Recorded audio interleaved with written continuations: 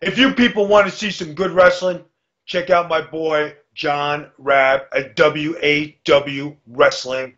And if you need to see the best, go check out this organization and check out John Rab.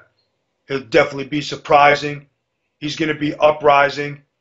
He has a plan to run the place and bring it to grace. This is Big Vito popping off. Take it easy.